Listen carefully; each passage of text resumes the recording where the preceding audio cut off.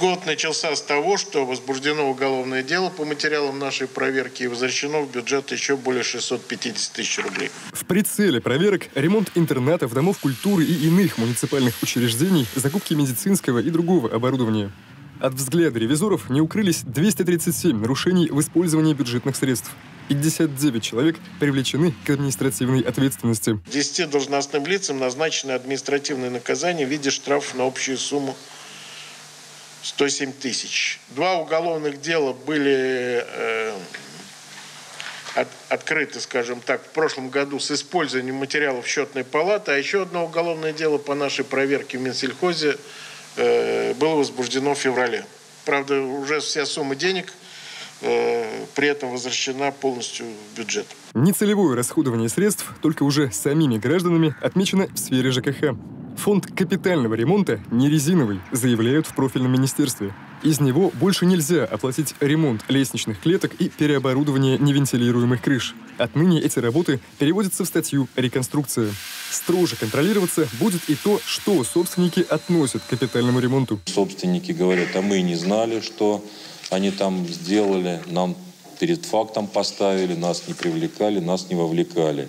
Поэтому эти недостатки – в части завышения объемов, от соответствия характеру выполняемых работ является нецелевым использованием средств фонда капитального ремонта собственников. Также в парламенте региона обсудили федеральную инициативу, карающую прогульщиков.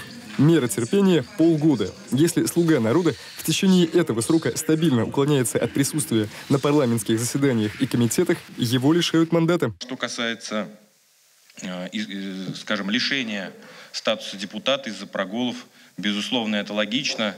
Это, я думаю, в очередной раз усложнит работу некоторых фейковых партий, типа коммуниста России, когда Сурайкин здесь приезжал к нам периодически, показывался. А так в основном-то и совсем не работал. Копейка рубль бережет, а финансовую приватность депутатов – новый федеральный закон. Отныне широкой публике доступны лишь обезличенные и обобщенные сведения о доходах и имуществе слуг народа. Одновременно закон дополняется нормами, определяющим порядок размещения на официальном сайте обобщенной информации об исполнении, ненадлежащем исполнении депутатами обязанности представить сведения при условии отсутствия такой информации персональных данных, позволяющей идентифицировать соответствующее лицо и данных, позволяющих э, идентифицировать имущество, принадлежащее соответствующему лицу. Впрочем, о доходах кое-что все-таки можно сказать с определенностью. Оформление земельных участков станет для всех граждан страны доступнее. Еще один новый законопроект сжимает ценовую вилку на услуги кадастровых инженеров. Отныне разница между минимальной и максимальной стоимостью их работы усреднена.